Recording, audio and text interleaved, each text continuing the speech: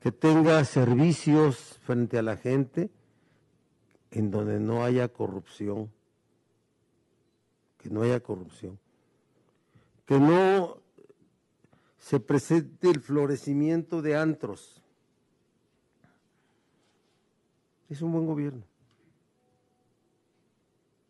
Es un buen gobierno.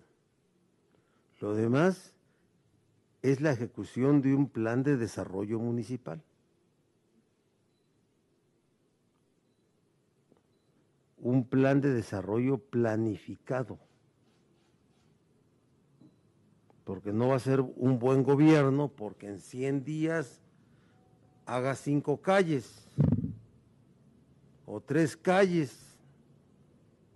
No, tiene que ser un gobierno, un plan de desarrollo municipal donde todas las, las acciones gubernamentales estén planificadas.